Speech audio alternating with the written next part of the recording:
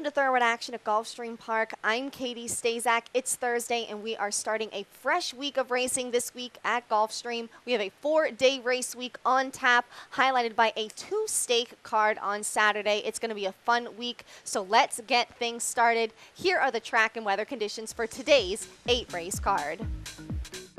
The main track is fast and the turf course is firm. Thursday's opener is a $16,000 claiming event. Fillies and mares three year olds and up, which have not won two races or three year olds, will be going seven and a half furlongs on the turf course. Scratch the seven, the nine, and the 13.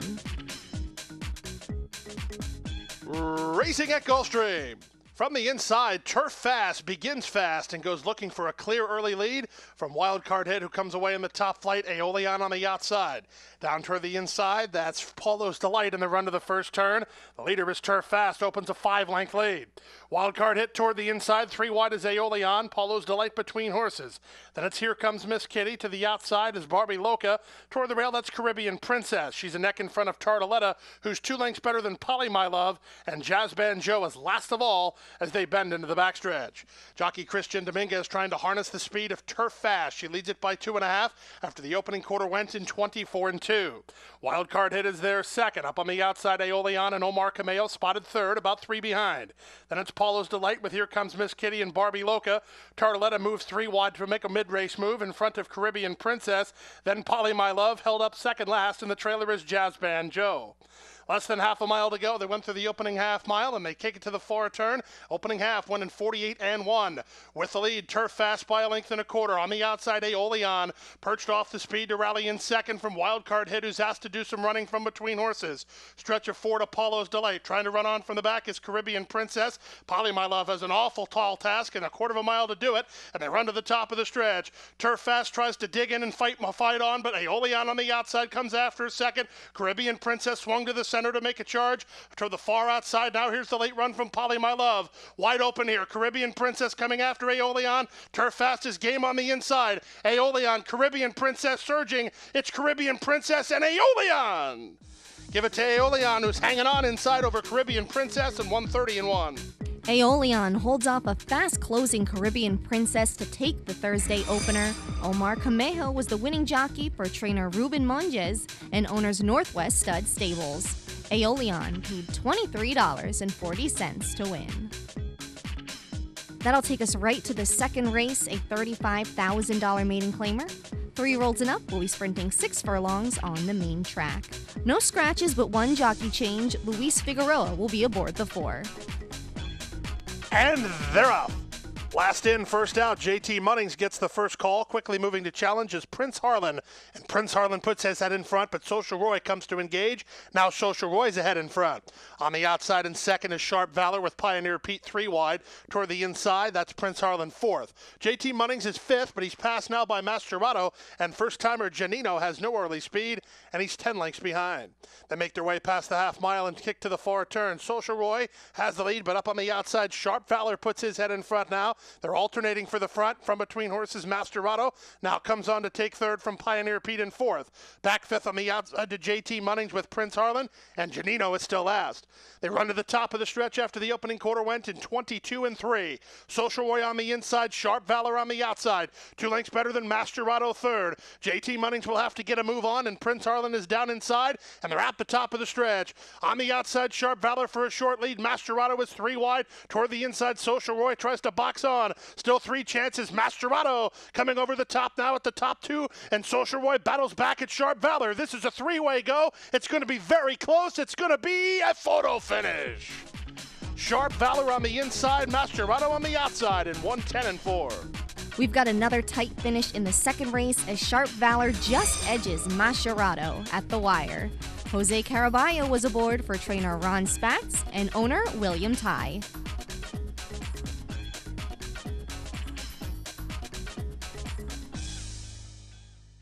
Point of entry would not be denied.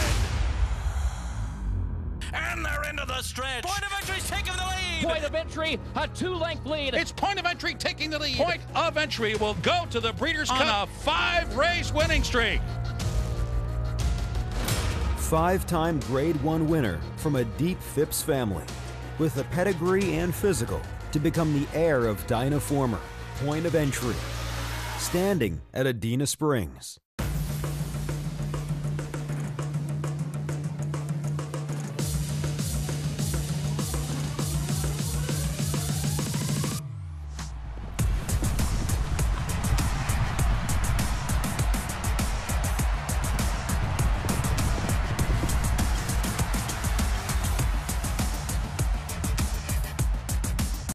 Third race is a $12,500 maiden claiming event. Three year olds and up will be sprinting five furlongs on the turf course. A field of 10 will go to the post. No scratches, but one more jockey change. Eddie Castro will be aboard the four Rapid Lightning. And they're up.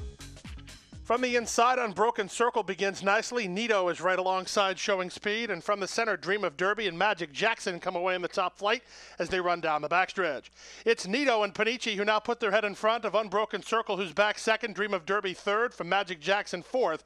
On the outside, and Graham from Rocket Boulevard. Ducking to the inside is Isa Tucker in front of Little Croupy. Then Whitfield's return. And the trailer at the, uh, at the back of the pack, the trailer is Little Croupy now. They run around the far turn.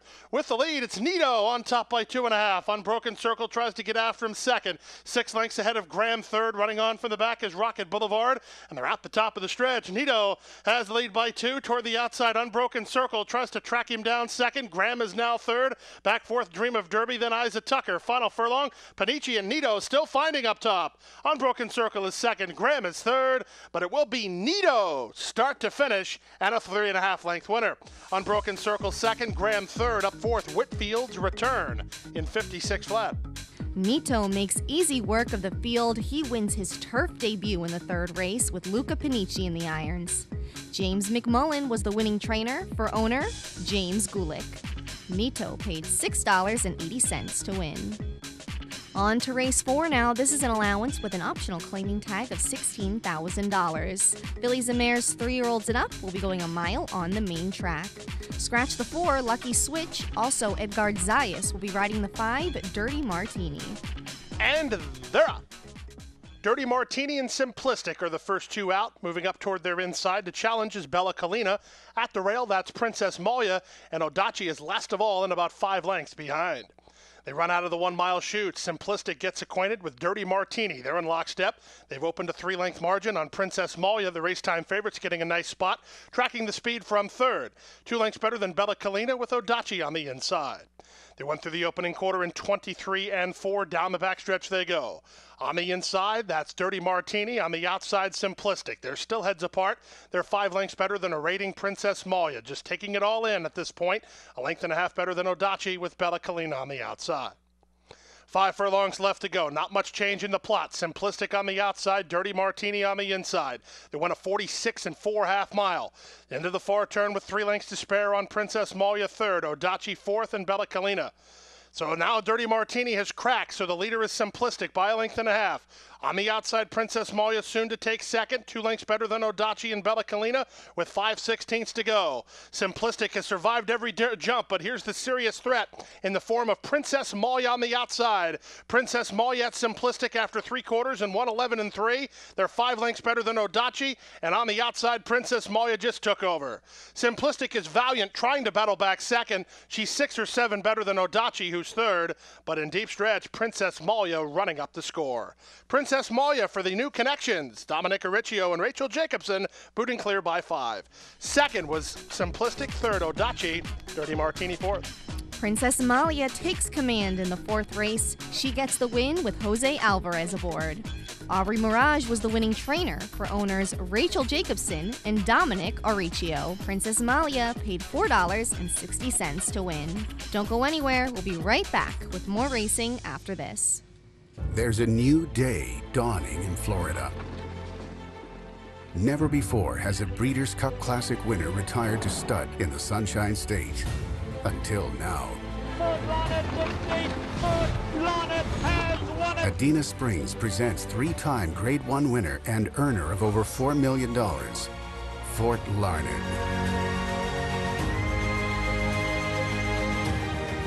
New to Adena Springs South. Welcome back. Let's get to the fifth race, an $8,000 claiming event. Fillies and Mares three year olds and up, which have not won three races or which have not won a race since December 18th, 2014, will be going seven and a half furlongs on the turf course. Scratch the 8, the 13, the 14, the 15, and the 16. Also, Edgard Zayas will be riding the 7, Defying Gravity. They're up to a perfect beginning. Toward the inside, Princess Bella on call gets the first call. Run Gia Run up on the outside. Slivikova's taken in hand between horses and up on the outside fives and nines in the run to the first turn. They're followed by Georgetown Style, caught wide to the turn is Darn Proud. Also away in the top flight is re-elected, and they're chasing the speed of the inside running Princess Bella on call. She leads by two. Run Gia Run second. Stretch of four lengths back to the outside. Re-elected is a joint third with fives and nines. Then Slivikova, length and a half in front of Darn Proud with Georgetown Style. Two lengths better to Gigi's Miracle, another two and a half to Defying Gravity. Outside to She's the Cat, and the early trailer about 15 behind is Golden Empress.